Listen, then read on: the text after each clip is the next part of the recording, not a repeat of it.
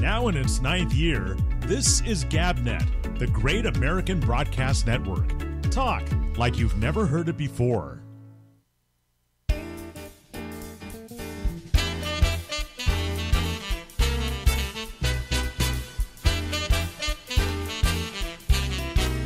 Hey,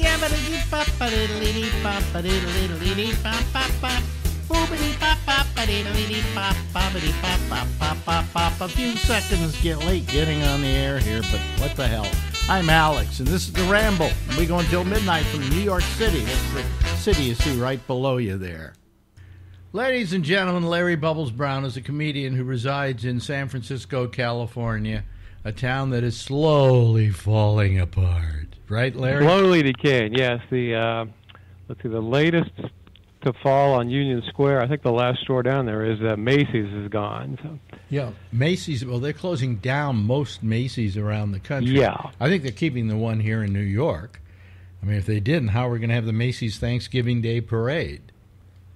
You know. that was uh, quite a big store they have here. So, Oh, I remember. You know what? You know what? I built. Remember that? I remember that opening up when I was a kid. In really, San when was Francisco. that? It's like the Uh, gee, 40s? uh, I, maybe maybe when I was around ten or eleven. Okay. uh, probably in the uh, getting into the 50s and they had the big store here in New York and all of a sudden they announced they were going to open up a Macy's in San Francisco and um, everybody my mother was thrilled because my mother was from New York oh we're getting a Macy's you know and so Macy's has been there for you know what 70 years maybe yeah, and they got it's great. They got they got restaurants in it. It's pretty cool. Yeah, yeah. But uh, it uh, there was there were a couple of big department stores there. There was the Emporium, which was a massive department store. People have to understand there was a period of time in this country where they had these humongous department stores, and Macy's was one of them. Here in New York, Macy's is uh, how many floors high? It's about seven floors high. Yeah, I would say so. Yeah, and um, there's still the wooden escalator that was there originally. For about three floors, they have it going up, and then it doesn't go up anymore. But I mean, these were huge, massive stores, and the idea was everything you ever wanted to buy. It was kind of like it was kind of like if you thought of Amazon as a department store.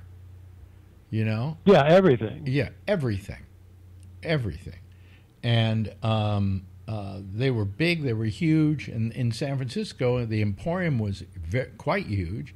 There was a place called the City of Paris, uh, which I think closed a few years ago. Do you remember the City of Paris? ever? Yeah, I never went in there, but I remember people loved that store, and I think there was a there was an I Magnin and a Liberty House. Yep, yep. But um, the thing was that the city of Paris, what they used to have, and I don't know how they did it, but they got a huge Christmas tree. I mean, if Macy's thinks they had a huge Christmas tree, they used to haul a huge Christmas tree into the city of Paris. It went all the way to the very top where there was a glass dome, and literally the top of the tree was touching the dome. And that was about five stories high, something like that. It was incredible, just incredible.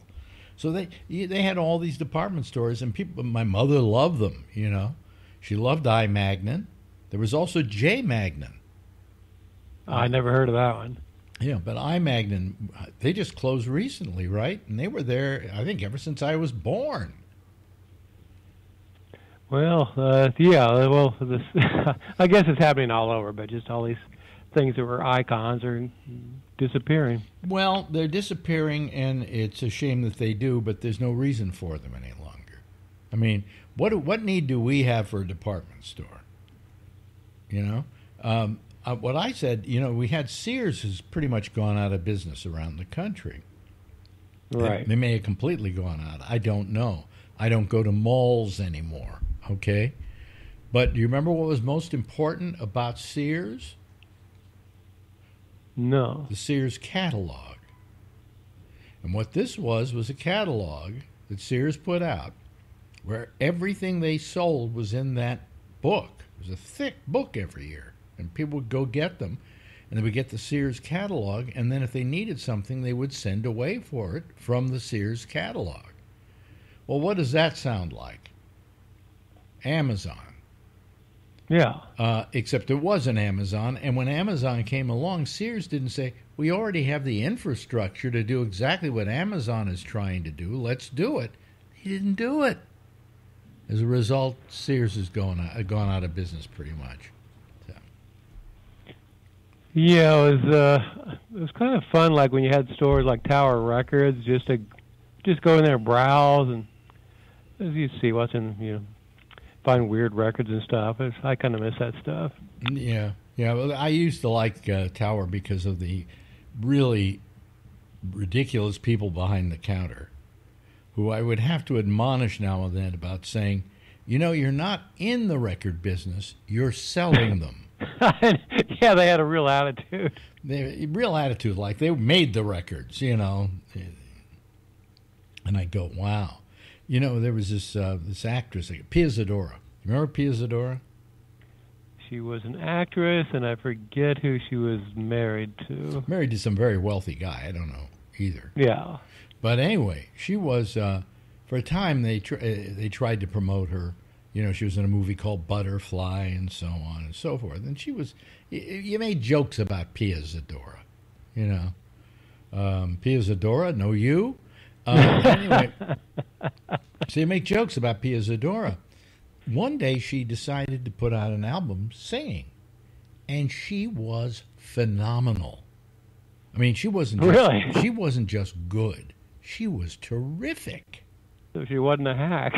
She wasn't a hack when it came to singing. I said, "What's she doing with these? these she can't act, but she can sing. Why isn't she singing instead of acting?" Okay. So I go over to Tower Records. I remember this. I go over to Tower Records, and I I go up to the guy at the counter and I go, uh, "Where can I find Pia Zadora's album?" And he says, "You want Pia Zadora's album?" I mean, with this this snotty attitude. And that's when I said to him, I said, "You're in the business of selling records, not making them. Okay, where the fuck is the record?" And I bought it, and I was getting sneers as I walked out. But you know, hey, well, she could sing. I wanted to support that.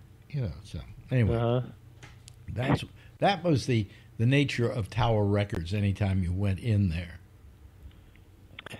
Well, Pia Door. Then there's. Uh, I just heard that uh, Taylor Swift. Uh, you know how she got her career going? it was in country, wasn't it?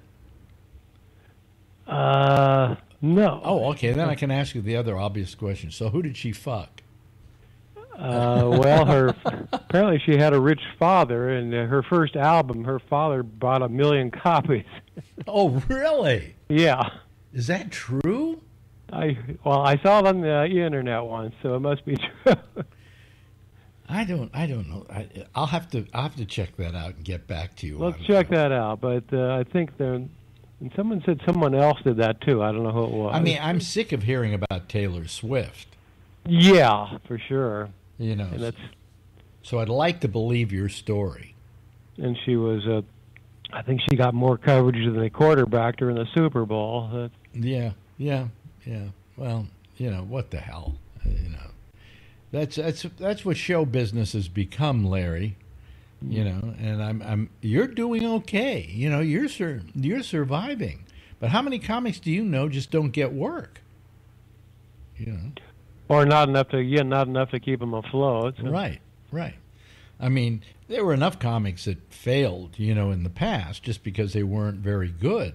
But when you hear about guys like Bobby Slayton saying, I don't want to do comedy anymore, or I can't do comedy anymore, you go, what a waste. You know, what an Yeah. absolute waste. Um, so, I mean, the fact is, the fact that you're working on a fairly, you're fairly consistent basis, right? Yeah. Yeah, yeah, yeah. Um, you aren't working. Dana Carvey isn't working lately, is he? Dana hasn't. I think Dana will be going out later this year, but he's. uh I think he came back to his podcast. I talked to him a couple weeks ago, and he sounded really good. So that oh, was nice. good, good. I'm happy to hear that because it was a real tragedy what happened. We won't go into it, but his son, what, committed suicide, right? I had no D. Had no D. Oh, okay. Yeah. Yeah. That's terrible.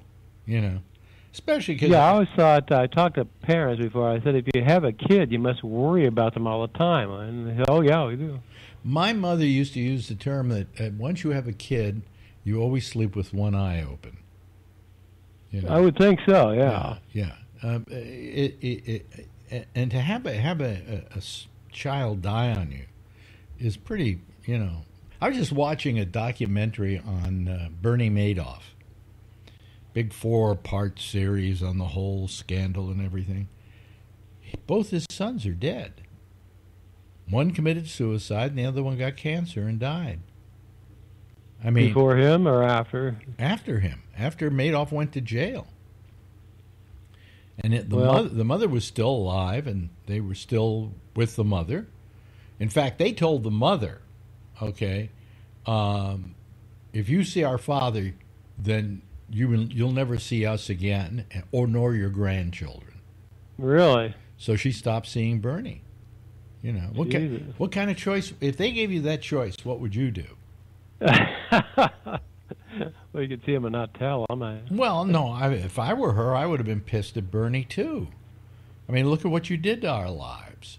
You know, first you made our lives wonderful, and we had the boat and the plane and the bob and the bomb, and all of a sudden uh, the rug gets yanked out from under us because of you, you son of a bitch. Well, the thing was amazing. So he had a Ponzi scheme, but the amazing thing was he kept it running for like 20 years. Usually, a Ponzi scheme will run out fairly quickly. So I don't know how he did it. Well, nobody who ran the you know the departments like the SEC and so on ever went to jail for that situation. You know, of course not. Yeah. And I mean, you you know what was terrible though, and and I found this out in the documentary. Let's say you had money with Madoff, okay, and you decided you needed the money, so you cashed it in. All right. So now you got the money plus the interest plus uh, however amount the amount had gone up, and of course he could afford to pay you because as long as not everybody cashed out at the same time, he had enough money to cover it. What happened to him in the end was that uh, the whole stock market crashed, and everybody was trying to pull their money out at the same time.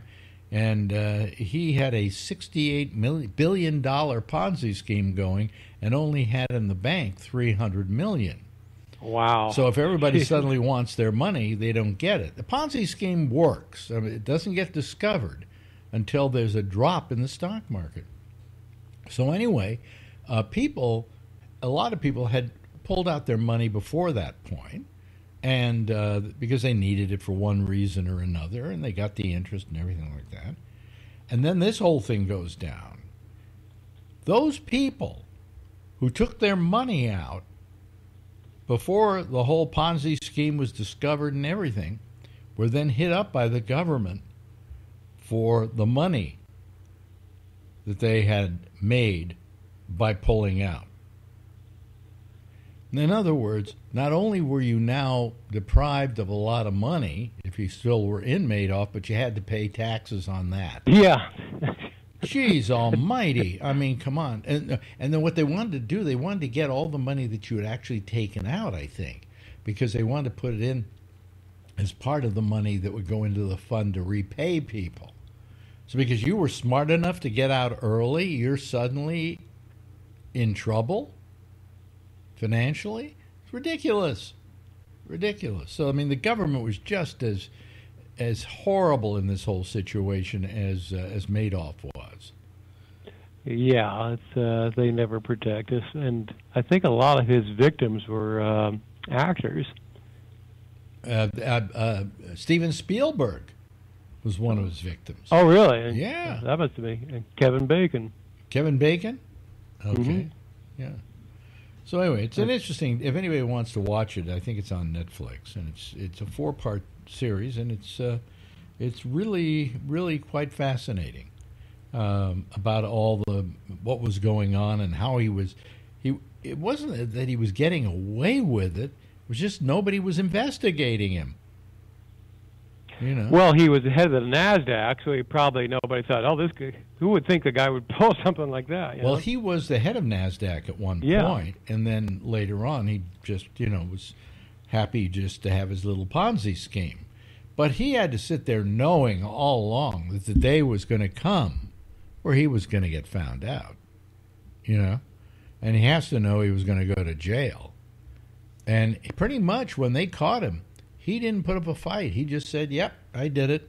You know, I'm guilty of it. See you later." You know, but he, he had many good years, I would imagine, except for those years where he had to sweat them catching him. and it's kind of sad. They then had some people on who had lost money with him, and their life savings, you know, and and it, it was it's just very sad the toll it took on people. Yeah, I'm too neurotic to be a criminal like that. When, like if you were doing that, wouldn't you just be worried that you're going to get caught every day? Well, you and I are neur- neurotics. We, we Yeah. could never have a Ponzi scheme. You know, we'd always be looking over our shoulder and worrying that you know they were going to get us next and so on. So, uh, and then you then we want people and we want people to like us. So when the thing falls apart, do you ever know everyone's going to hate you? let me ask you this question though. Uh, I often said to people the difference between criminals and non-criminals are they get caught. You know, you're not a criminal until you're caught. So my Mhm. question always was, if you think criminals are so bad, have you ever done anything in your life which, if they caught you, you could get at least a year in jail for? yeah, no, I have not. You have not? No, Never smoked pot? Uh, no, Oh. Okay. Never did any kind of drugs at all that were illegal. no. Uh, did you ever cheat on your taxes? I did not. So uh, I know. God, when I started, there was a bunch of comics that they they never filed for years. Oh, I well- kept telling, them, man, they're going to catch up with you, and they always did. You see, I could get I could have gotten arrested, I suppose, for smoking pot back in the day, and I would have gotten at least a year in jail. Was that a year back then? Jesus. Well, I mean, I would have gotten at least a year because my question to you was, have you done anything that would have gotten you at least a year in jail?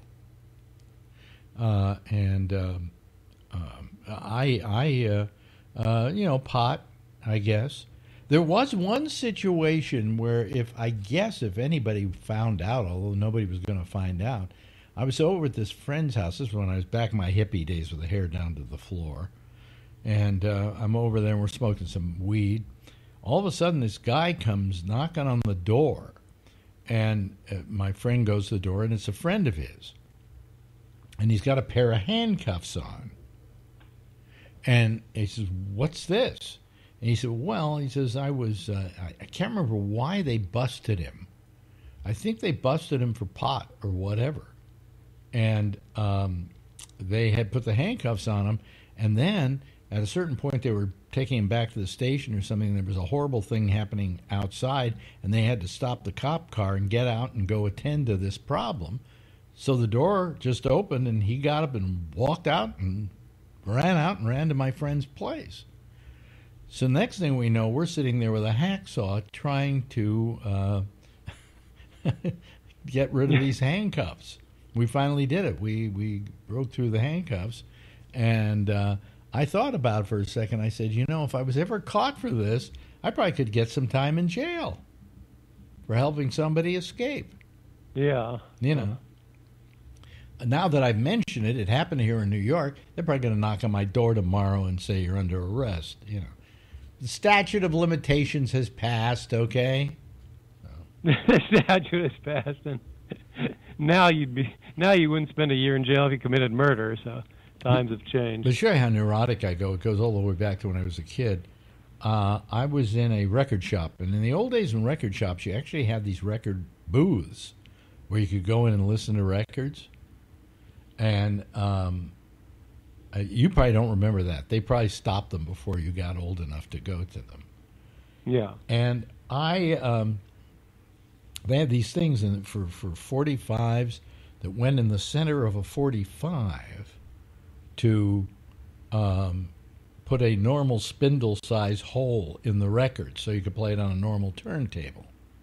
I don't know if you remember that. Um, but anyway, uh, the, there was one in there. There was one in there that they belonged to the uh, record store, and I, I stole it. And I Really? yes. Now, if you, you're not talking about big thievery here, okay? You're not talking about major, big time theft. It wasn't like Petty, was- petty theft. people there were stealing records and putting them in their jackets. I wasn't. I just took one of these old things and put it in my pocket. I felt so guilty about it. I told my parents, and they said, "Well, you did it. You did it, but don't ever do it again." But I felt guilty about that. Now, would you you, felt horrible. If you stole something like that, what what could they have been worth? Maybe they cost a penny in those days. Yeah, Would you feel guilty? dime. Would you feel guilty? Would you go into fits of anguish of what you had I done? would feel a little uh, guilt. Yeah. Yeah, yeah. I felt a lot of guilt. I never, I never stole anything uh, outside of that.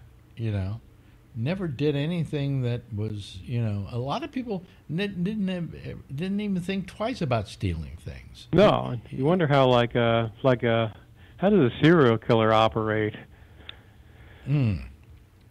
I guess they're well, they're psychotic. They're so, sociopaths, so they don't have a. I guess they don't feel guilt, but They feel some kind of justification, I suppose, for what they're doing. Maybe that's it. Yeah. I mean, why don't you do it? Why aren't you a serial killer?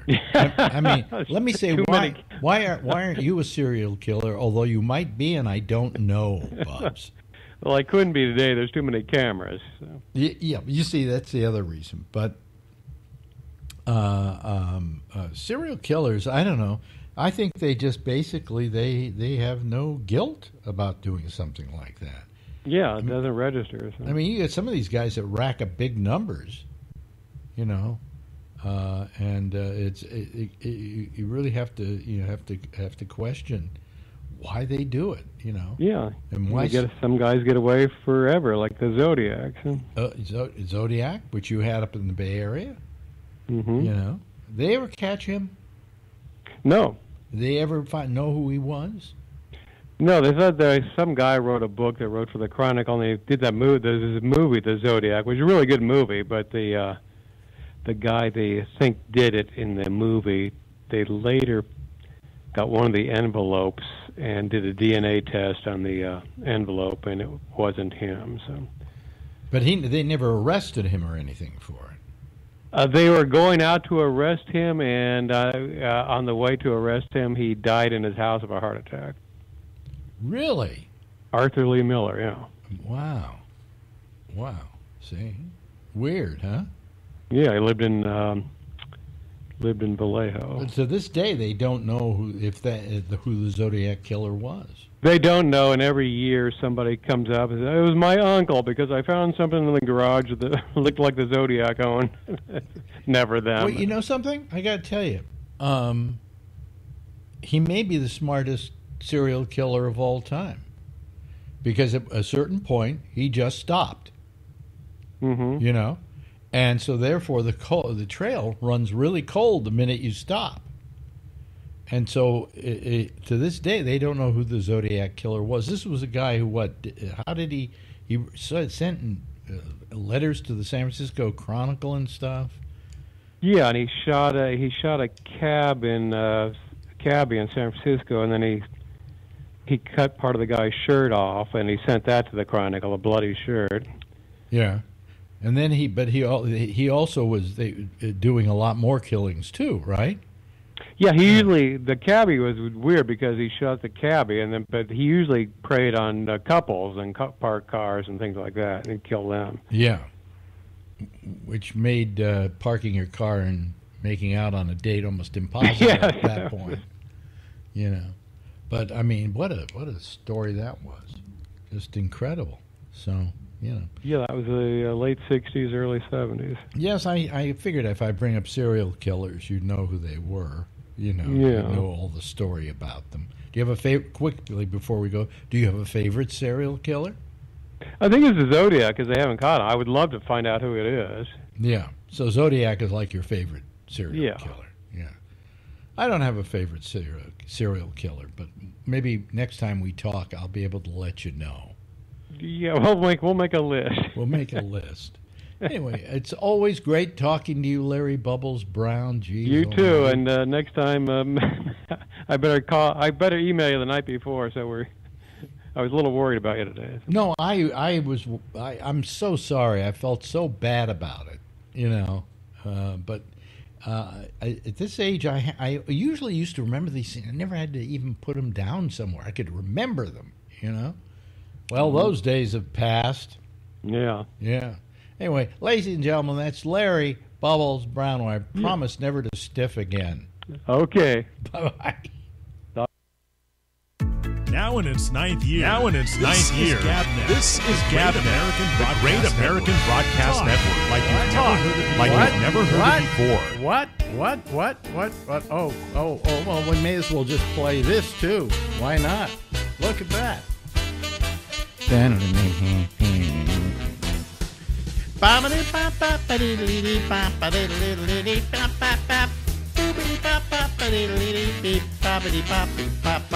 Live from Harlem, yeah, it's uh, the Ramble with Alex, and that's me. That's ridiculous. I, uh, I, I forgot to start recording the program. Okay. And by not starting the program, recording, uh, nobody's going to hear in the reruns, at least on um, on the uh, uh, on the channel where we have the you know just the the half hour, the hour and a half show. Uh, You know the thing that's the recording. There are two of them. There's the one that's taken directly off the live show, and then one's a, a recording that we start. I didn't start the recording. I'm screwing up so badly lately. I'm just thinking of not doing this anymore. I really am. I'm serious, just because I feel so embarrassed by the mistakes that I make. Um, you know, why why didn't I start the recording? I do the start the recording every night. Yeah, a- oh well, you know. And I'll tell you what happened to me today. Uh, and, and and this is not fun. Okay, I took another fall today. Yeah, I took another fall today.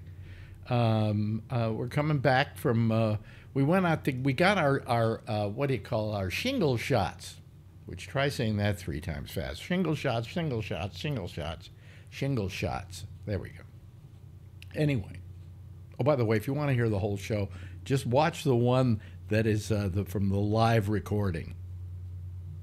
Okay, instead of the one. If you, you know what I'm talking about. Anyway. So uh, where were we? Oh yeah. So I'm we we went and got the shingle shots, and then we went over and we got a hamburger, and we're walking back, and I don't know how I how I managed to do it. I mean, it, it it's ridiculous how I managed to do it. I, I don't have any idea how I did it.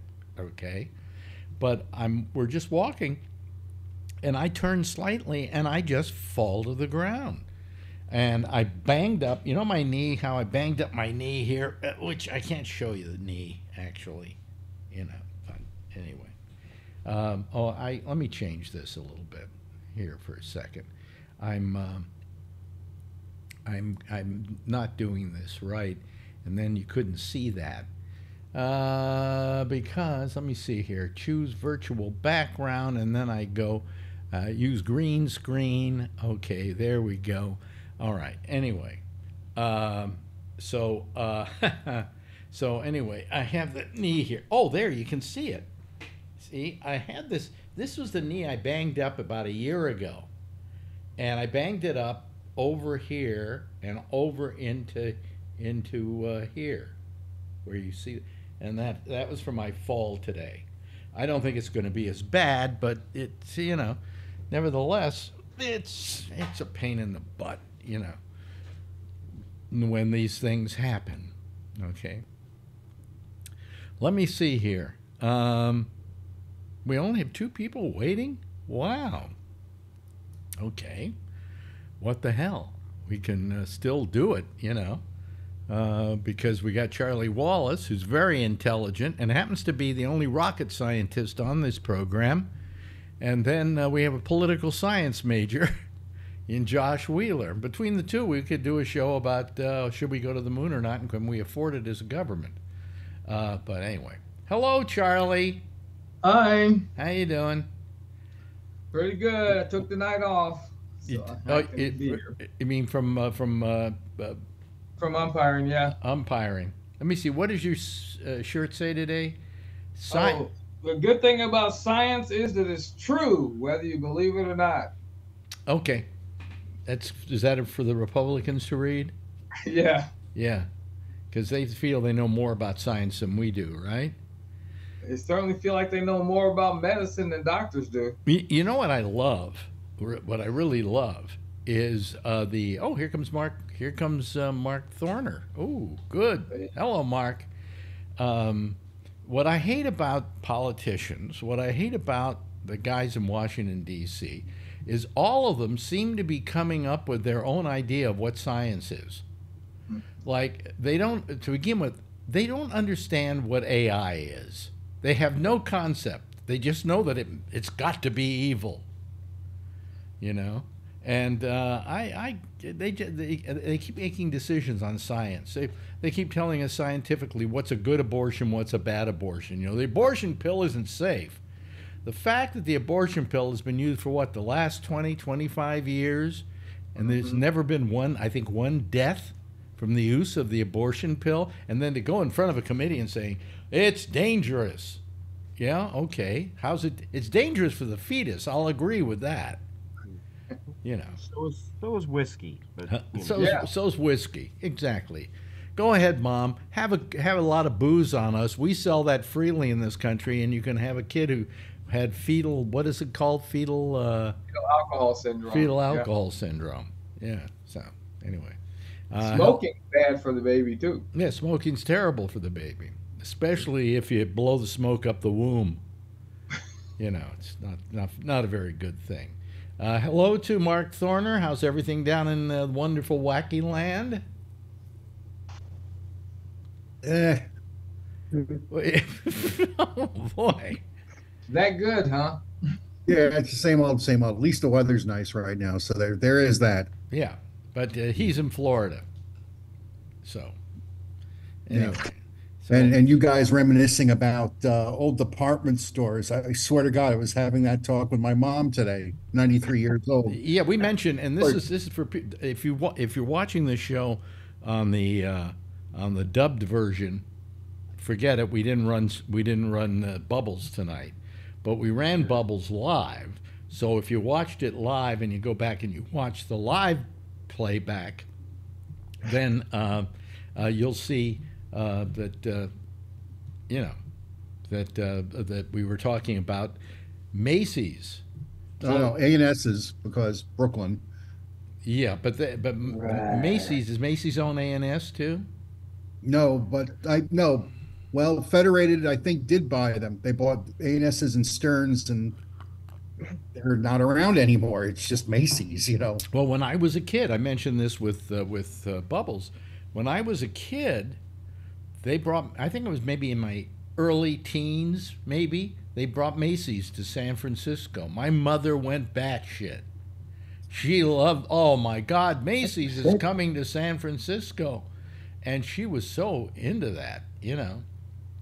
The only and now they announced they're closing a lot of their stores. One of which is the San Francisco Macy's. Wow, that's got to be like seventy years, easily. You know, so uh, when I think that it was like yesterday that they opened it up, but it was a big deal that Macy's was leaving New York and coming to San Francisco as well. You know. And they, I think they're keeping the New York store open because how are they going to hold the parade every year? You know, so. uh, but but you remember when what was when what stores were open? Uh, there was well Bloomingdale's was still open. What's oh, Gimbels, Gimbels. Well, that that was was- one. or as they used to call it, Gembels. Yeah, but Gimbels was right next to Macy's. Right. And they were always in competition with each other.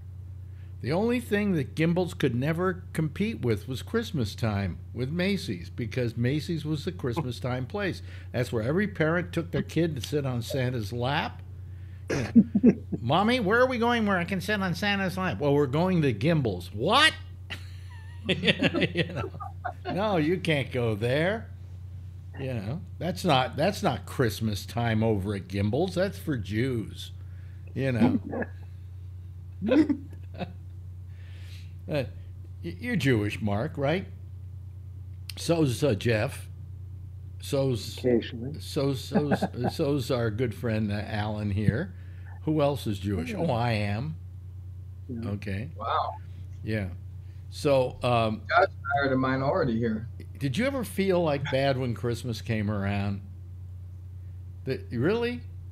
No. Well, because I always felt it was kind of like uh, it was kind of a mixed blessing. You know, my parents always let me celebrate it. You know, they got me gifts at Christmas.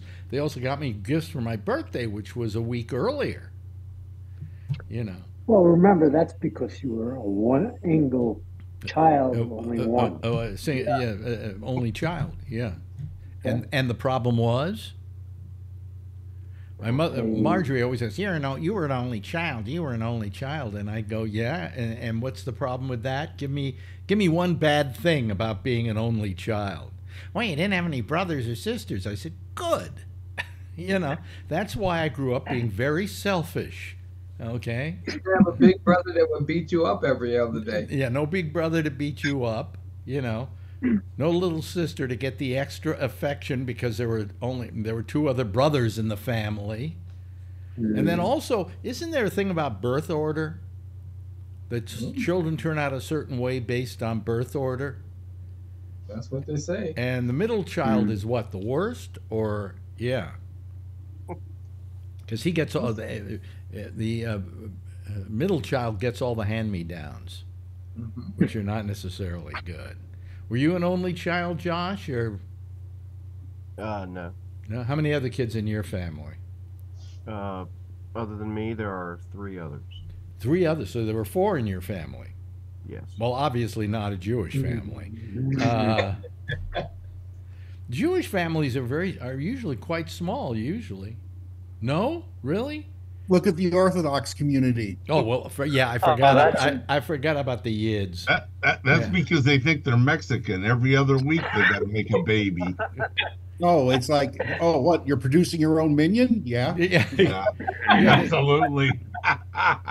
They yeah, but you, you got to go a while because if you get a girl in there, you need ten men for the minion. So, yeah. Well, you know, you would go into these stores that were owned by the Hasidim, okay, uh, and uh, uh, or as we Jews like to call them, the Yids, uh, and uh, they um, they would have stores like B and H. Photo is you go. There, they're closed on Saturdays. All right, Of course. and then they, Sabbath. huh?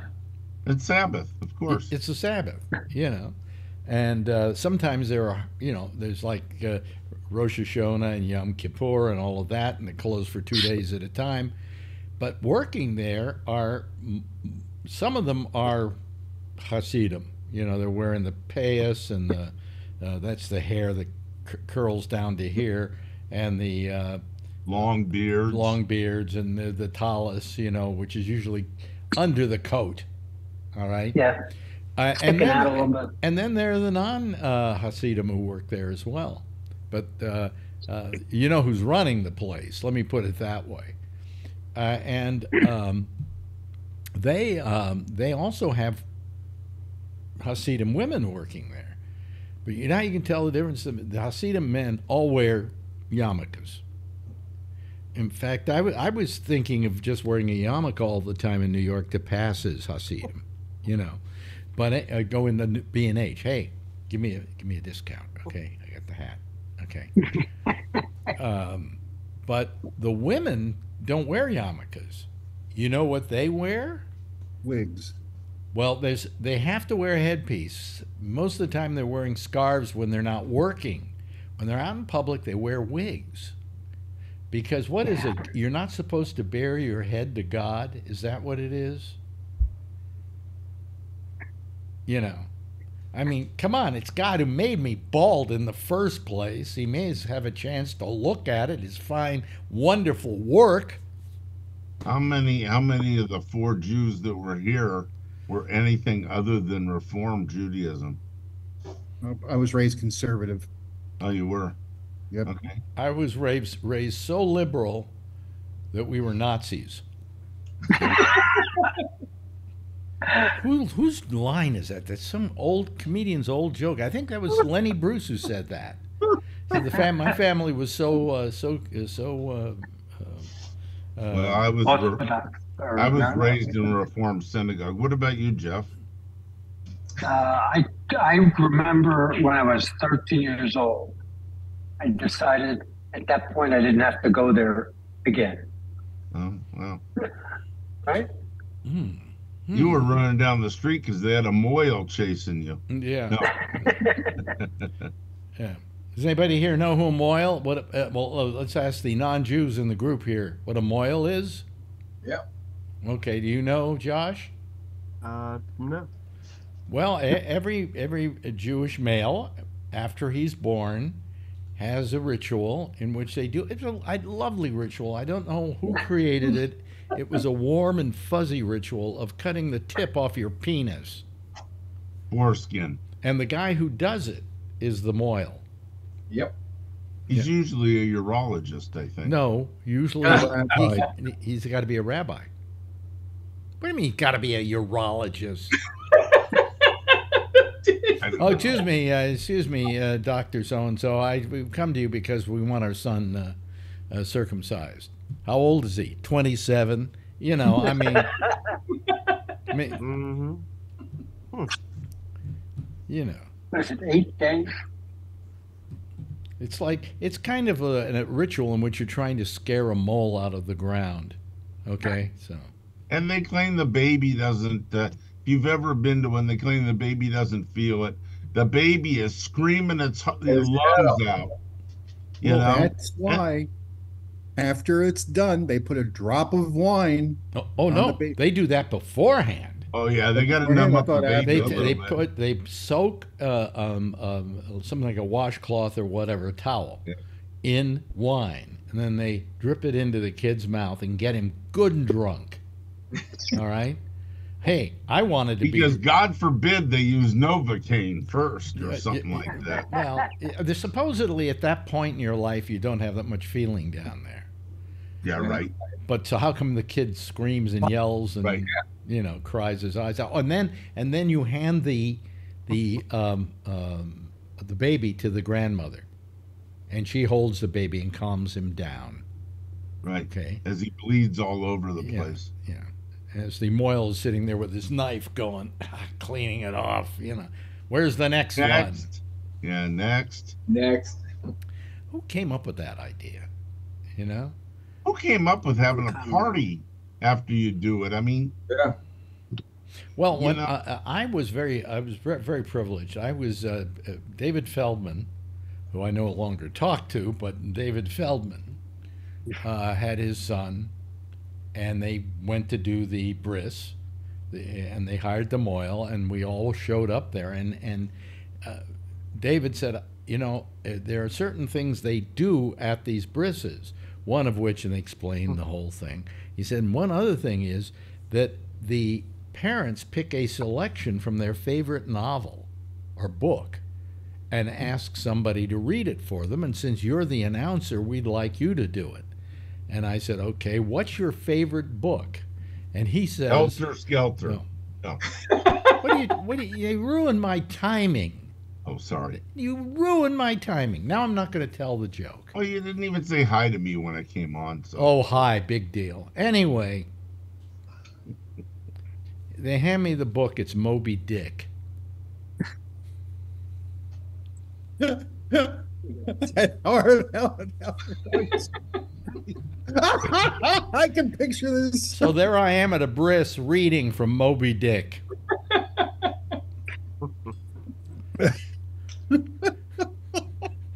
Moby? No, you? You know. There's a bad joke in there somewhere. No, there isn't a joke in there. That's for real. I read from Moby Dick. There's no cure for Moby Dick.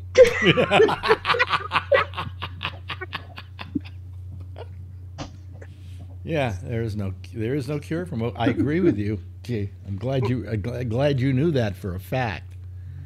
Um, but anyway, it it I never could figure out why. Uh, you know, they they say that they, they argue that there's no reason for circumcision. There used to be, I think, back in ancient times, when it was for health purposes. All the Jewish rituals, being kosher and so on, were all health rituals, which, as time went on, no longer were relevant. Um, so uh, you know, I'm not. I'm not sure if I. If I had got married and had a kid and he was a boy, I'm not sure I would have had him circumcised. you, you don't think so? Why, why not? Well, one, I wasn't very religious, and I'm still not. but- Why not? Have you ever asked a woman whether she likes to look at a circumcised dick? No. Yeah. Marjorie says they look funny uncircumcised. Well, it looks like an anteater. Yeah. Once you get it hard, it looks like any other penis, but you know. Yeah. All all you got to do is teach. Of course, if anybody here is uncircumcised, I apologize. Okay. No, no need. Huh? No need to apologize. Yeah, okay. You're the ones that got brutalized, not me. well, we know who isn't uncircumcised, who's uncircumcised here. right, Yeah. And, but and- it's not very common. I, I maybe more common now in the black community. Hmm. But I, when I went to high school, I had two friends that were black, and Mhm. I think they were the only two blacks in the whole high school. But in any case, you know, whenever they got undressed for showers and stuff, everybody would look at them, and they were uncircumcised. I just really, because most porno films of black guys, they're they're they're uh, they're circumcised. Well, that changed in the 70s and 80s. I think it became more because doctors wanted to make that extra money. You know? probably. Yeah, I just, I, you know, I, I never, uh, I, I hear it's not important, you know, that you can get along without it, Oh yeah. Yep. but I don't know.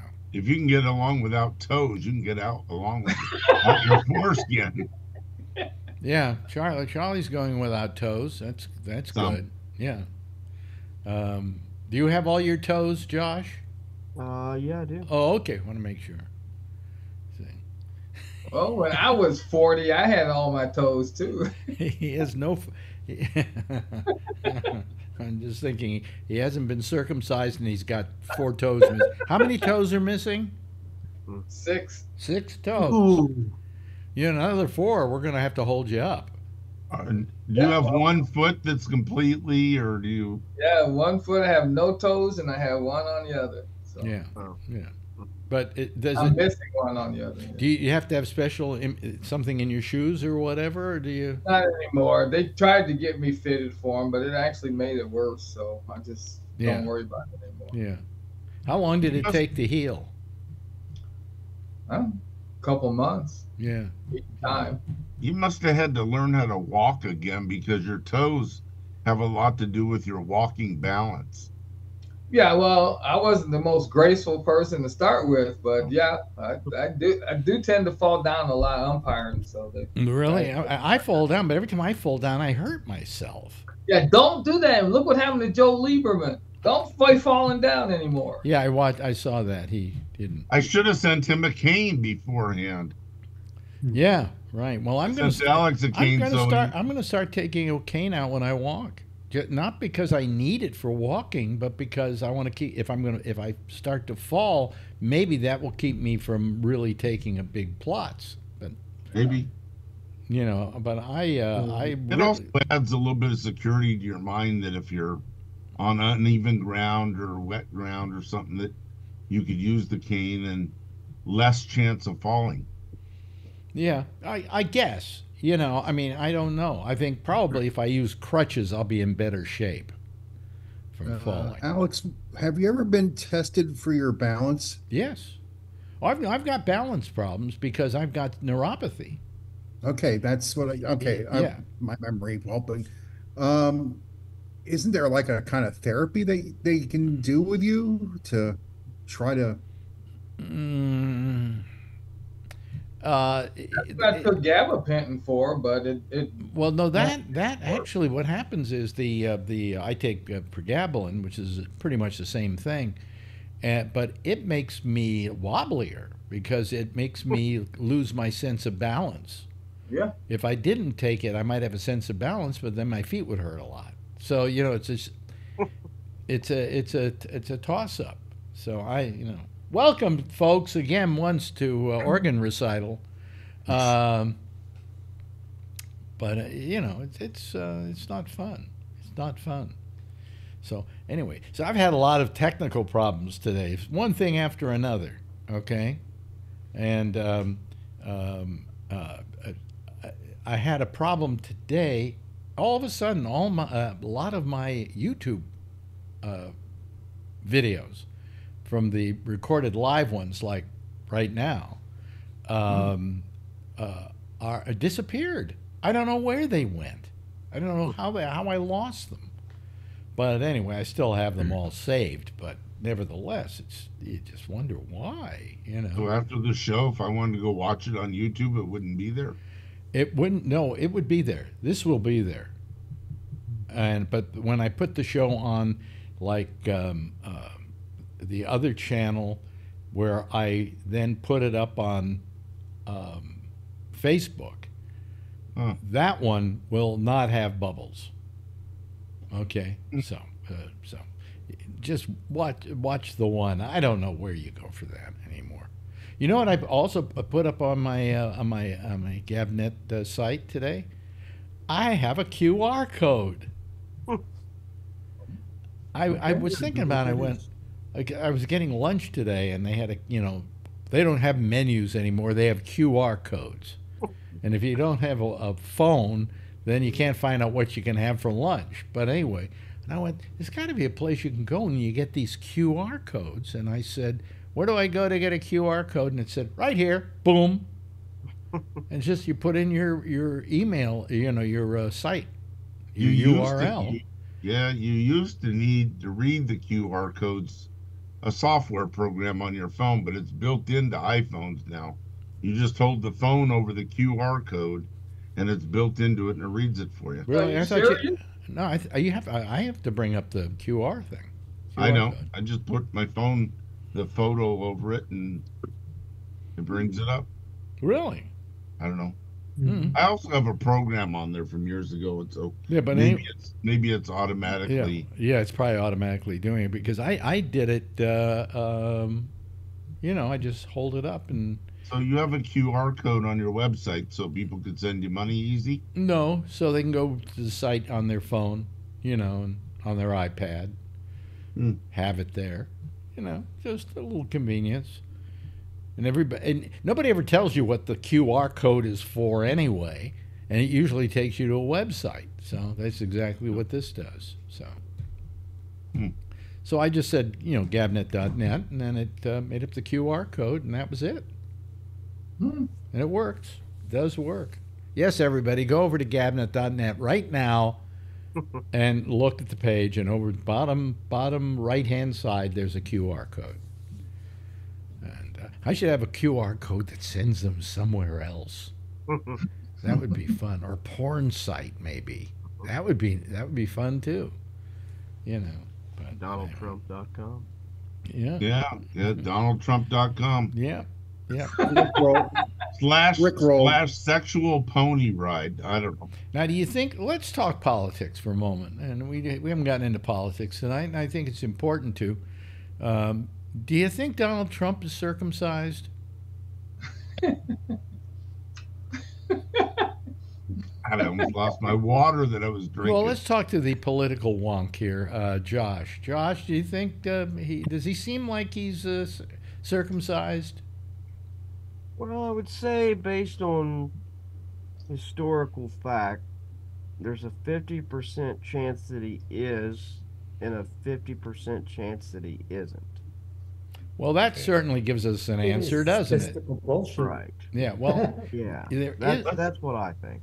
Let's ask Siri. Hey Siri. Is Donald Trump circumcised? I think that Here's maybe he's so fat that he doesn't even know it. well, you know, Stormy Daniels. Did you, you ever see Stormy Daniels on the uh, uh, uh, Kimmel show? Um, he um, had Stormy Daniels on, and he had a, a thing made up of different sized penises. And he had her pick the one that looks the most like Donald Trump's penis, and she picked the thing that looked like a mushroom. So So apparently, the only thing that came up was Donald Trump had his son circumcised in 2016. I was amazed that ABC allowed these penises to be displayed so she could pick one. You know. Mm. That's a little strange. Hmm? Yeah. Well, I don't know. Um, how about Joe Biden? Do you think he's circumcised? Nah. Nah. No. What makes you you you suddenly came up with that? I don't answer? know. I just I think the Catholics were into that. Yeah, Catholics didn't circumcise back when Right. Joe Biden. Oh, they really? didn't when I was growing up. So Really? Well, I don't think anybody really cares. So no. it's it's not going to. It, it, one vote's not going to go one way or the other. You know. By the way, I'm so amazed at. Uh, First of all, uh, just when it's it's election season, and the way all these people are whoring themselves out. Donald Trump to upstage Biden, who was holding a big deal yesterday at Radio City Music Hall, where he wa- raised $26 million. Okay. Um, went out to, like, I don't know, Queens or Long Island. I can't remember where, where this cop lived who was killed here recently to meet with the family. And, and really, I mentioned last night that Trump is becoming a, uh, a uh, ambulance chaser. Anytime somebody gets somebody somebody gets killed by somebody, he goes out to say, "My hearts and prayers are with you." He went to the first place he went to was somebody who was killed by I think by a um, uh, what do you call it a uh, uh, killed by a, uh, uh, a an immigrant an immigrant or something. Oh, Yeah, uh, and um, he um, he went out there, and she said the wife said, "I don't like this. We don't want this to be political. My husband is dead." So she really berated him for even doing it. Yeah. You know, but today I hear that Joe Biden is going to where's that bridge again? Is it Baltimore? Where is it? It's, uh, yeah, Bal- Maryland. Maryland. Sir Francis Sir Francis Key Bridge, Yeah, yeah, Baltimore. Yeah. yeah. Oh, uh, here's the walking encyclopedia. Well, it's not. It's not Sir Francis Key. It's Francis Scott Key. He was Francis American. Scott Key. Francis Scott Key. Francis Scott Key. He was the Queen did not knight him. Yeah. Uh, yeah. But he did write the national anthem. He did write the national anthem. Star- yeah. Well, Star actually, he Trek. didn't. He only wrote the lyrics. Right. Yeah, just the lyrics. The yeah. the actual song was a bar singing song called "Anacreon in Heaven." Right. Uh, and I don't know. Originally, it was something like "Let's drink some more beer, let's get drunk till we fall down," you know, something like that. And uh, There's uh, a there's an Irish band, uh, Ashok and Thorn, that uh, that performed it. Very good. with the original lyrics, Yeah. Yeah. yeah, And and speaking of Irish, um, you know, I I wanted to join into the uh, conversation about circumcisions. oh boy, here we go. I Yeah. I was born Roman Catholic Irish, and I am circumcised. So I would guess that uh, Joe Biden is circumcised as well. Oh, You know, but most Asians, if you look it up, I just looked it up. Well, I'm not really Asian. I think we should have a club my, for. my daddy, my daddy Tadashi Yamaguchi was not circumcised. No, he wasn't circumcised. Okay, but you know, I mean, we should probably start a little club of people who are circumcised and refer to each other as Circs or something. Like that. I grew up in the Catholic school system in Chicago, and I Mhm. met hundreds of guys going through school, and none of them were circumcised in Chicago How did you know that? because we took Well, phys ed and we shower after that, or we actually when we did swimming, we swam naked. For- Yeah, but did for- you did you did you did you check out each other's dicks? Did you do that? the- It was right there. they Yeah. swam naked because the priest wanted to watch them swim. That's probably why. But they said it was for, for uh, Sorry. hygienic reasons. yeah. Yeah, right. Yeah. But anyway, um, um, Jeff's got his hand up. yes, Yeah. Jeff. Yes, Jeff. Uh, so I was in a high school, Mhm. all boys at that time, and we would swim. Same thing, naked. hmm You check out who's who. Really? Oh, okay. Sure. I So never- how many guys were uncircumcised in that school? I don't know. We had a lot of Italians, so Oh, Uh, this is, uh, you know what I'm thinking about? I, you know, every night I have to, after this is over, I have to go and post the shows to YouTube. And they ask me, for the sake of advertising, uh, was there any questionable material on this show? Was there, were there any bad words that were said, whatever? And I, uh, tonight, probably because at no point did we use a four letter word yet, I would just say no. But then I'm thinking, could I get caught for having this conversation on circumcision? no, it's, it's anatomy. yeah. I mean, what? Why is that a problem? Mark's kind of giving up on us here. Uh, what are your thoughts, Mark? Yeah, yeah. Like I'm going to really trust uh, Google's algorithm on YouTube. Yeah. yeah, machine learning in the guise of artificial intelligence. Yeah, there's our real winner. You know, Uh. I- I- I- almost every night, it says to me, uh, "By the way, uh, we're you're, we're not monetizing you." So then I have to request for a review, and then I always get a note saying, "Congratulations, you've passed the review." Well, I knew that there wasn't a single four-letter word in the whole damn show, but every about every other night, you know, I got to ask for a review. It's ridiculous. It's absolutely ridiculous. You know. So, uh, but that's their, how good their algorithm is. Their AI. Yeah.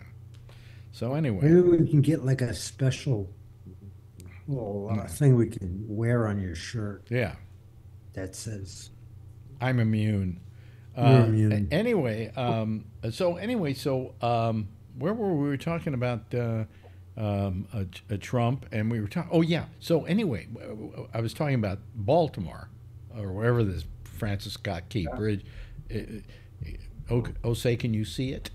Uh, anyway, uh, I'm sure they pull that joke a lot down there. Yeah. Anyway, um, today Biden announces, okay, that next week he's going down there, and I'm thinking, what's he going to be able to do? In fact, he can Didn't you do. the federal government was going to pay the entire Yeah. cost to rebuild it? Yeah, but he can sign those papers at the White House, can't he? But no, he won't be able to do it next week because he's going down to Baltimore. Okay? And I'm thinking, if he really cared about Baltimore, he would have gone yesterday. But oh, he had that 25, six mil, $26 million benefit at Radio City Music Hall. What? Priorities. Yeah. Yeah. I so obvi- obviously $26 that wasn't a priority for him. You know. And now uh, Josh, who is the political wonk on our show, whatever that means, uh, will now tell us why all politicians are whores. Josh? because God wants them to be. There you go. That's the official answer. And who said that being a whore was a bad thing? Yeah. God.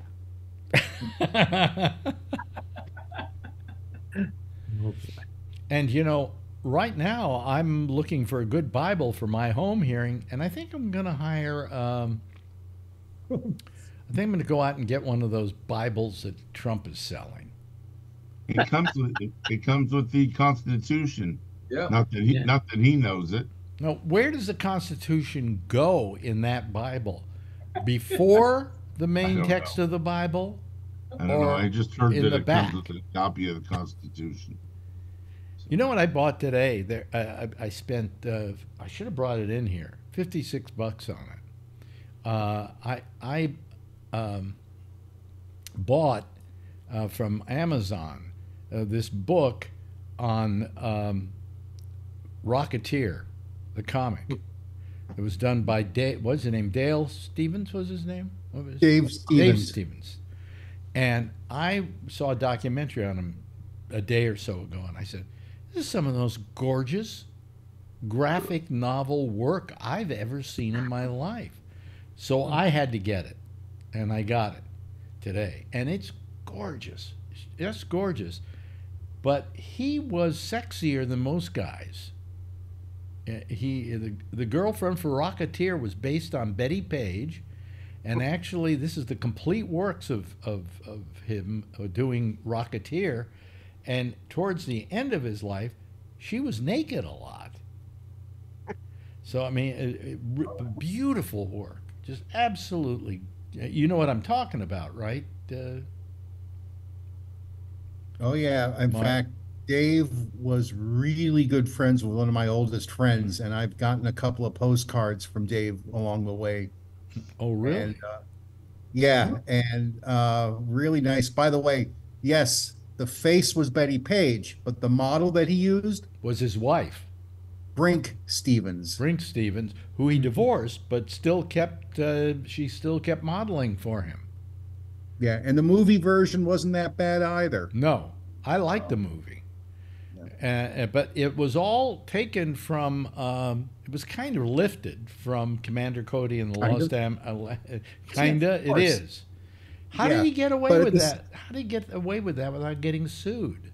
Well, how did Proctor and Bergman get away with J-Men Forever? Then you know they did. It's just like wow, you know.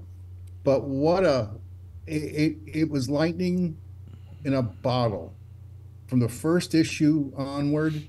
Hmm. It was like, yeah, what's the next issue? What's the next And issue? And he took forever to do each issue because he he he would. They said his main artistic tool wasn't a pen, or uh, or ink or whatever. It was an eraser because he he oh that eyebrow isn't right, and he would go back and redo the eyebrow, and spend days redoing the eyebrow.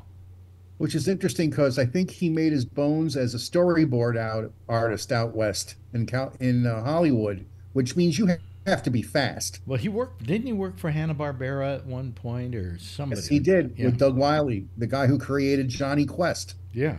Yeah. So it's like, holy, you know, you look at this guy's background, you're like, holy crap. But you his know? his artwork is just phenomenal. I mean, you know, it's it's not Rembrandt, okay? It's a different kind of thing, but of its sort, which is, you know, it was pretty good. Wait, wait, wait. hold on a second. I'm not used to this. There is Kevin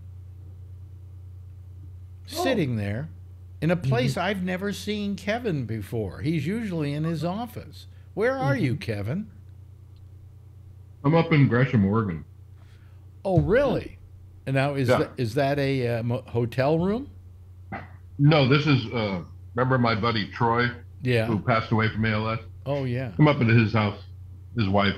We're visiting his wife. Oh, okay. All right. Yeah, and then we're going to take my uh, daughter back to uh, university in Eugene down south Yeah. later or on Sunday. Yeah. That's very nice. It, uh, is it cold up there because you got a fireplace going there? It's That's very stove. nice. Well, stove. I'm actually downstairs. That's the heater. Yeah. Yeah. Well, it's not really. It's it, is is that uh, does that uh, just operate on its own with gas and stuff, or uh, do you have to stoke the Remote thing? control. Oh, okay. So, is, is that actually a video of flames there, or? No, they're flames and it's actually heater. It's kicking out heat. Oh, okay. All right. Yeah. Yeah. I'm downstairs. They're Wait a minute, let me just warm my hands by your fire there. Feel- feels good. Ah. I'm in the Lego room. Hmm? I'm in the Lego room. That's what she does on her spare time now. is Builds Legos. She's got these extravagant Legos everywhere that they've been building over the years. She's got a, like a four foot Star Wars Lego over here and a roller coaster over there and lighthouses and buildings and all kinds of stuff here. Wow. Wow. Is this for your daughter? No. No, this is my friend's wife and her son Okay. do these things. Yeah. Yeah. Yeah. Um, But yeah, that's where I'm at. so, uh, also, uh, I want to know what's going on with the Tom Yamaguchi. What political things have you been doing lately? mm, God. Uh, oh boy, uh, don't want to get started on that. Why don't you want to get started on it? Uh, politics in Berkeley right now are pretty pretty wacky. Um, uh, one thing is, I'm actually a, uh, a city commissioner right now. Really? Uh, Where? Berkeley? Yeah, yeah. I uh, I joined the uh, the Commission on Aging, and uh, and the uh, the city council member that appointed me uh, resigned, and uh, and I don't know. I there's a special election to to replace him, but um, And did you run? No, no, Oh. no, I'm not running. Oh, oh, so you're just taking it while they wait for have for an election? Yeah, I I don't know. Uh, one of the candidates says he's not going to replace any of his commissioners, so you know, I guess I'm sort of safe. You know, they could replace me if they wanted, but uh, the sad thing was uh, this particular councilman, uh, Rigel Robinson, really great guy, Yeah. and uh, and uh, he uh, he was just harassed. I mean, you know, the, the they they were they were they were just you know he was getting death threats and things like that. And he says, "I had enough of this. I'm I'm I'm gone." Yeah, he just quit. And he was also planning on running for mayor too, and so he quit his uh, mayoral campaign as well. So, um, so I'm very bummed out about that because I because he was the cat. Actually, I he when he did his uh, announcement uh, video, he had me in his video. You know, we were walking in local park with my bicycle and talking, and so yeah, I'm pretty bummed out about it. You know, um, But you know, uh, it's a, it's unfortunate because that's happening down in local politics a lot of places right now, and I've seen it trickle down from you know the the DCs and the and the the, the higher end, and it's look it's trickling down to local politics. It's pretty nasty. People are Yeah. doing nasty things to each other. yeah, Wow. yeah. Yeah. Well, he got a he got a double whammy. Um, one thing, um, uh, there's big, of course, the continuing pro- uh, controversy of People's Park, and the council voted to put some housing on the on the park. You Oh, know, boy. and Oh yeah, I saw that. and uh, and actually, that's the that's the district that he represents is the area that, that includes People's Park.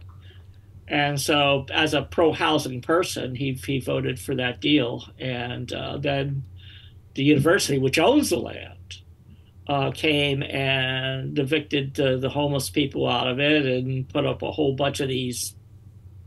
Oh, what do you call them? The, you know, the, the containers that you put on container ships. Yeah. Yeah, yeah, around the edge. Right, right, done a whole perimeter around it. It, was, it really looks ugly. Yeah. And so, so people started arresting in front, and then the thing with Gaza exploded. Yeah. And so, and and and and there, every every city council meeting, there's a whole contingent of people that are just shouting down the council members, shouting down at other people just because they they just want to have their little temper tantrum. And um, What what can local governments do about Gaza? That's what I don't get. Yeah. Yeah. That doesn't make sense. They're all No, sitting no. around. They Uh, go to the they go to the council meeting, Santa Cruz, Monterey, everywhere. They're all going in and saying, you know, stop this, you know, ceasefire, ceasefire, Yeah. ceasefire. And what the hell can they do about it? Absolutely. By the way, can I mention that yesterday when they did the Radio City Music Hall, protesters like crazy outside mhm, about about Gaza. Yeah. right. I mean, more than Biden would have liked to have had at, at that uh, gathering. Um, but that's appropriate. I mean, That's a yeah. It's a bigger. It's a well, bigger. I mean, platform. I would, be- if I'd known it, I probably would have gone down and protested too, because uh, he's done nothing about this. You know. Uh, no, I can't say he's done nothing about it. No, I wouldn't say that at all. Well, not Well, he hasn't done but- enough to you know keep him in good stead with those people, and they're not asking for much. They're asking for the United States just not to take sides in that deal. Well, we did abstain from the last vote. Uh, of the We in the abstained. We didn't vote. That's the bad Well, part. That's different than vetoing. That's a I lot gue- I different guess- from vetoing. It's enough to piss off Netanyahu. well, he, he was not happy with that about that. Yeah, but I think I think we should have voted uh, the right way on that, and not not just simply held out and said. I mean, do you uh, do you feel we did the right thing by just not uh, by abstaining? Well, I think it that you know that you know under the politics of the situation, you know, uh, maybe that would have been the right thing. I don't know. There's a lot of stuff that's that's going on. You know, you know, politics be da- but politics be damned. People are dying. I mean, at an extraordinary rate. I mean, when you consider that 1,200 people were killed by by uh, Hamas in Israel, and then the the uh, uh, Israelis went in and killed about 33,000 people in Gaza. That's a little disproportionate. You know, that's what I there's a it's uh, if it isn't overkill, then you can see overkill from there. You know. Yeah. Uh, what well, I don't know about this. Uh, uh, you know, unproportioned. I mean, I think any deaths are hard, and and Yeah. the way that Hamas did it is a, exceedingly hard. You know, I course, can't of I course. can't understand how people can just gloss over. Of course, but then how you know, you? and that's what a lot of these Yeah, people in the city but council meetings are doing. They're, they're just like they're glossing over this horrendous, uh, you know, attack, and you know, people getting. no, we're not glossing it over at all. Murdered, ta- getting, Tom, getting. Tom, Tom, we're not we're not uh, uh, glossing it over. It, what the- Well, what there they, are people who are. If if if it had en- stopped at that point, the world would have been sympathetic towards Israel. But with what's happened, nobody is sympathetic towards Israel. You know, They they took what was uh, the sympathy of the world and overnight turned it into the exact opposite. And as a Jew, I feel uncomfortable with that. I think that Netanyahu has created more anti Semites than anybody I can name in recent history. You know, and that includes um, um, uh, uh, what's his name? Kim Kardashian's former husband. Oh, Kanye West. Kanye West. Yeah. Okay. Yeah. Yay. Yeah, How, how is Yay. it? How is it down there uh, uh, in Florida um, on this issue? I mean, are they pretty much strictly behind Israel all the way down there? Because it's a large Jewish population, or a large Jewish population that's afraid of the cold. Uh, you know. Um, do you do I they- think I think Netanyahu wants to destroy Gaza and push it into the ocean. I think he's just like Trump. Yeah. Well, he's not just like Trump. He- Well, Jared Kushner was Jared Kushner wants to wants to develop it. You know, he wants to. We're going to push out all those Palestinians. Let's let's build up uh, some some hotels. Okay. I mean, uh, how how how do, how does it play itself out down there? Uh, do you find it you have to keep your mouth shut, Mark, about things? I I do not share my opinions about this. Yeah, yeah. Oh, okay. Is there a reason? I mean, is it just that? yeah, because uh, I see it through a different lens than everyone else, so it's not the popular opinion right now. How is the how how is that lens? Is it? Well, you're a Jew, of course. Yes, and I'm very much a Zionist, and I've been Oh, watching Oh, okay. since I've been a kid what's been going on there, and Yeah. I agree with Mark. Not he hasn't even said it. I am not pro-Palestinian at this point. And if you know the history, if you know really know the history, and I'm going back before the Second World War, through the Second World War, after the origins of, what happened, then you'll know that, yeah. Well, the origins go all the way back to Balfour. No, this goes back even before that, my friend. Well, the Jews, the Jews, and the uh, and the Palestinians in the area. I guess I don't know if they were called Palestinians back then. Really got along very well. Uh, in fact, the Jews who lived in Palestine were considered part of the Palestinian people who lived in that area. They just happened to be Jews as opposed to Muslims. Uh, and um, Uh, Balfour, ba- Balfour came along and made trouble. You know, and these two these two groups which got along up until that point stopped getting along. Look up look up something called Hitler's Arabs. Hitler's Arabs? Just look it up afterwards. I will. Read, I will. I, read yeah. the history, and then when you when you start connecting the dots, you'll be like, "Oh shit!" Okay, there goes your monetization. Sorry. Okay. Well, no, uh, no, that's okay. That's okay. That is a political comment. Yeah, well taken. well taken. I but the thing that really bothered me was not so much there was like a lot of anti-Semitism that came up out in this country after the October 6th that I was like, whoa. Oh, oh, that that was yeah. Yeah, that that It's an was- overkill. That that really made me Well, wanna what go- what I'm saying is is that I think what Netanyahu did, and this is just between you and me and the lamppost, and that is uh, what he did gave a justification to people to be. I mean, they were always anti-Semites, but it gave them a sense of permission to come out and play out that anti-Semitism. You know, and it, uh, you know, I mean, it's it's not a, it's it's it's just the whole thing's horrible, and So I, why doesn't Hamas, if they want the war to stop, stop lobbing missiles into well, Israel? Hamas, Hamas, Wait a minute, wait a minute, wait a minute, and, and return the hostages immediately. because Israel Hamas doesn't care, because Hamas, do, because Hamas doesn't care, but Hamas does not make up most of the Gazan people. Well, they were voted in, weren't they? They were voted in in I think it was 2012. Correct me if I'm wrong, Mark. 2006. 2006. Five or six. yeah. Okay, then 2006, and they had then never allowed elections to be held again. And it's pretty well known that the people in Gaza are not happy with Hamas, but Hamas rules the place uh, like a like a what it looks like a prison camp, you know, uh, and that that's the problem they've had. Um, And those kids that have been killed weren't even born in 2006. Yeah, yeah.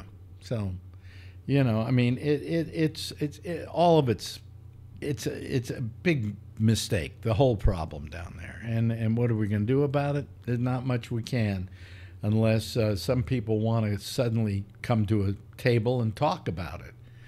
But uh, this is, uh, I don't know. This is not not good. It's never been good, and. Um, We've never done anything to try and solve the problem. And every president, by the way, I'm going to start playing the theme here.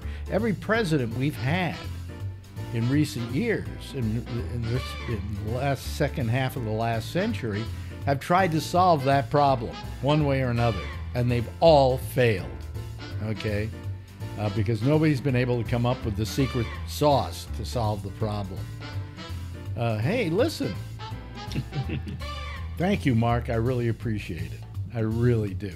You know, uh, uh, Mark, thank you so much for being here this evening. We enjoyed you being here, as well as Charlie and uh, Alan and Jeff, and of course Tom Yamaguchi. It's always a pleasure when Tom comes to the table, as well as Kevin, who's looking very cozy up there in uh, the northern part of the United States. Oh yeah, yeah. Let me warm my hands there too. Anyway, everybody give a big wave goodbye. I'll give a big wave goodbye at you, okay? And there they go, ladies and gentlemen. That's our citizen panel for tonight. That's our citizen panel for this week.